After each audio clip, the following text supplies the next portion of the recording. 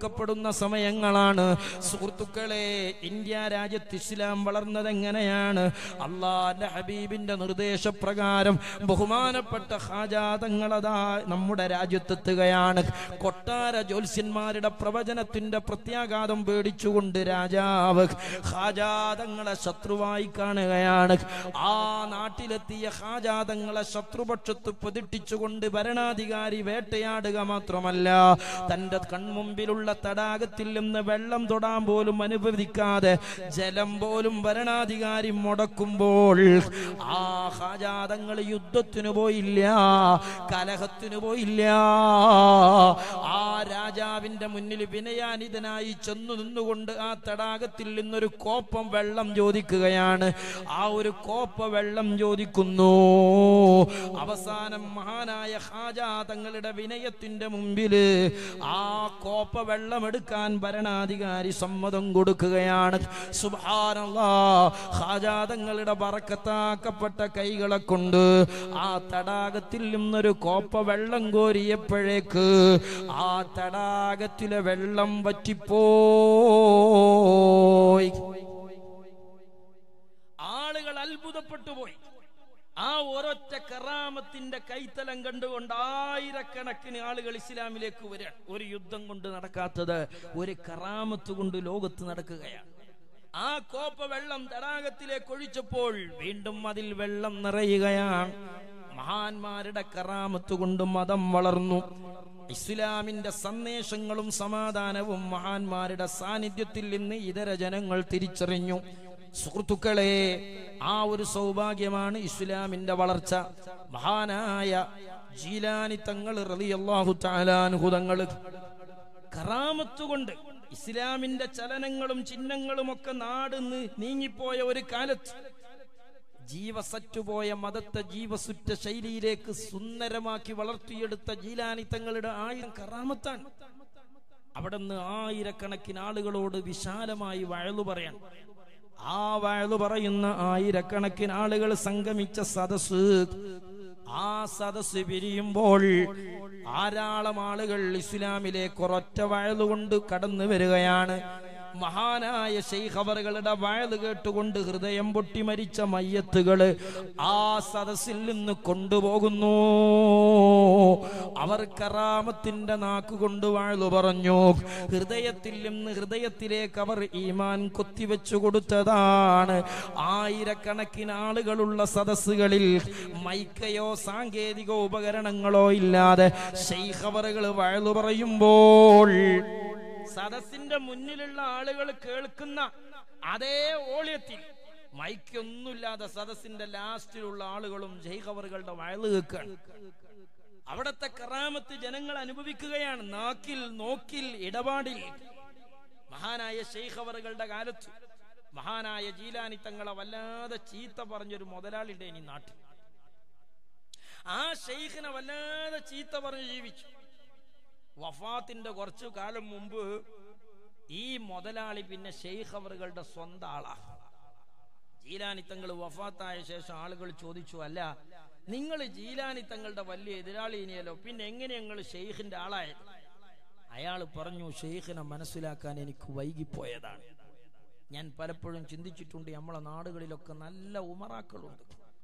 ഒരൊറ്റ വക്കത്ത് നിസ്കാരം അവർ ഒഴിയൂല. ഹദാദ് ചെല്ലും ഖുർആൻ ഓതും പക്ഷേ നിസ്കാരം കഴിഞ്ഞ് പള്ളിയുടെ സിറ്റ് ഔട്ടിലേക്ക് ഇറങ്ങിയിരുന്ന്. മഹാനായ കാന്തപുരം ഉസ്താദിനെ കുറ്റം പറയുന്നവർ ഖലീൽ തങ്ങളെ കുറ്റം പറയുന്നവർ ഒടോമ്പറ്റ തങ്ങളെ കുറ്റം പറയുന്നവർ സുഹൃത്തുക്കളെ ഞാൻ ആലോചിച്ചിട്ടുണ്ട് എ പി ഉസ്താദിനെയൊക്കെ ഇങ്ങനെ ചീത്ത പറഞ്ഞ് കുറ്റം പറഞ്ഞ് ഈ നല്ല ഈമാനുള്ള മനുഷ്യന്മാർ ജീവിക്കാൻ കാരണം എന്താ? എ പി ഉസ്താദിനെ എ പി ഉസ്താദിൽ നിന്ന് മനസ്സിലാക്കാൻ ഈ മൂമിനിങ്ങൾക്ക് ഭാഗ്യം കിട്ടിയില്ലല്ലോ. അവർ എ പി ഉസ്താദിനെ കേട്ടത് എവിടെന്നാണ്? എ പി ഉസ്താദിനെ മനസ്സിലാക്കിയത് എവിടുന്നാണ്? മഹാനായ എ പി ഉസ്താദിന്റെ ശത്രുക്കളിൽ നിന്നാണ്. എന്റെ എതിരാളിയിൽ നിന്ന് എന്നെ മനസ്സിലാക്കിയാൽ നിങ്ങൾക്ക് ശരി കിട്ടുമോ? എന്റെ എതിരാളിയിൽ നിന്ന് എന്നെ കുറിച്ച് അന്വേഷിച്ചാൽ നിങ്ങൾക്ക് നല്ലത് മനസ്സിലാക്കാൻ കഴിയുമോ? ആ പണ്ഡിതനെ ആ പണ്ഡിതനിൽ നിന്ന് മനസ്സിലാക്കാതെ അദ്ദേഹത്തിന്റെ പ്രവർത്തനങ്ങൾ അദ്ദേഹത്തിന്റെ പ്രവർത്തനങ്ങളിൽ നിന്ന് മനസ്സിലാക്കാതെ അദ്ദേഹത്തിന്റെ എതിരാളികളായ ആരൊക്കെയോ തെറ്റിദ്ധരിപ്പിച്ചതിന്റെ പേരിൽ ആ പണ്ഡിതനെ തെറ്റിദ്ധരിച്ച ഒരുപാട് നല്ല മനുഷ്യരില്ലേ? അള്ളാഹു അവർക്കൊക്കെ നല്ല മനസ്സ് കൊടുക്കട്ടെ. സുഹൃത്തുക്കളെ ഈ മുതലാളി പറഞ്ഞു ഷെയ്ഖിനെ മനസ്സിലാക്കാൻ വൈകിപ്പോയതാണ്.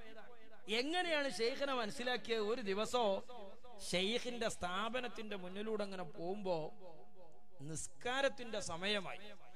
അങ്ങനെ നിസ്കാരത്തിന്റെ സമയമായപ്പോ ഞാൻ കരുതി ഏതായാലും ഒന്ന് കയറി നിസ്കരിക്കാം. എനിക്കാണെങ്കിൽ ബാത്റൂമിൽ പോകേണ്ട ചെറിയൊരു ആവശ്യമുണ്ട്.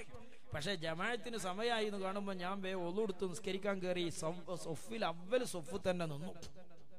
അങ്ങനെ അവൽ സൊഫിൽ നിന്ന് ഞാൻ നിസ്കാരം തുടങ്ങിയപ്പോഴേക്ക് ജനനിബിഡമായി ആ സദസ് നിസ്കാരം കഴിഞ്ഞപ്പോഴേക്ക് പള്ളി കയറിയപ്പോണ്ടായിന് ബാത്റൂമിന്റെ പ്രശ്നം എനിക്ക് അധികമായി പോയി. നിസ്കാരമൊക്കെ കഴിഞ്ഞ് ശൈഖവറുകളെ മിഹ്റാബിൽ അങ്ങ് കയറി നിന്ന് പ്രസംഗം തുടങ്ങിയപ്പോ മൊട്ടുസൂചി ഇട്ടാൽ താഴെ വീഴാത്ത അത്രയും ജനനിബിഡമായ സദസ് പള്ളി. പുറത്തുള്ളവന് ഔത്തുക്കും ഔത്തുള്ളവന് പുറത്തുക്കും പോകാൻ പറ്റാത്ത കണ്ടീഷൻ ഇയാൾക്കാണെങ്കിലോ മലമൂത്ര വിസർജനത്തിന്റെ ആവശ്യം വല്ലാതെ ബുദ്ധിമുട്ടിക്കാൻ. അയാൾ പറയുന്നു ഞാനിങ്ങനെ സങ്കടപ്പെട്ടു പോയി പഠിച്ചു എന്റെ വസ്ത്രം ഈ സദസ്സിൽ വെച്ച് കേടുവന്നു പോകുമോ? എന്ന് വരെ വസ്ത്രത്തിൽ ഞാനിത് നിർവഹിച്ചേക്കുമോ? എന്നിങ്ങനെ പേടിച്ചു നിൽക്കുമ്പോഴാണ് മിമ്പറയിൽ പ്രസംഗിച്ചുകൊണ്ടിരിക്കുന്ന ഷെയ്ഖവറുകൾ മെല്ലെ താഴെ ഇറങ്ങി വരുന്നു. എന്റെ തലയിൽ ഷെയ്ഖവറുകൾ അവിടത്തെ ബറക്കത്താക്കപ്പെട്ട കൈവെക്കുന്നു. ഷെയ്ഖന്റെ കയ്യിൽ തല വെച്ച് അത് കഴിഞ്ഞു നോക്കുമ്പോ തല ഇങ്ങനെ തലയിൽ അങ്ങ് കൈവച്ചതിന്റെ ശേഷം പിന്നെ എന്റെ പരിസരത്ത് ഞാൻ കാണുന്നത് നല്ലൊരു തോട്ടമാണ്. കുറ്റിച്ചെടികളും അതുപോലെ തന്നെ നദികളൊക്കെയുള്ള അരുവികളൊക്കെ ഉള്ള നല്ലൊരു തോട്ടം. ചേ കുറ്റിച്ചെടി കണ്ടപ്പോൾ ഞാൻ നേരെ പോയി ആ ചെടിക്കു പിറകിലിരുന്ന് എന്റെ മലമൂത്ര വിസർജനം കഴിച്ച് തൊട്ടടുത്തുള്ള അരുവിലിറങ്ങിയിട്ട് എന്നെ ശരീരം വൃത്തിയാക്കി നല്ലൊരു ഒലു എടുത്തു കയറി. തൊട്ടടുത്തു കണ്ട ഒരു പുൽമേട്ടിൻ കുന്നിലിരുന്ന് ഞാൻ രണ്ടരക്കാലത്ത് നിസ്കരിച്ച് സലാം വീട്ടിയപ്പോഴേക്ക് ഷെയ്ഖവറുകൾ എന്റെ തലയിൽ നിന്നങ്ങ് കൈയെടുത്തു.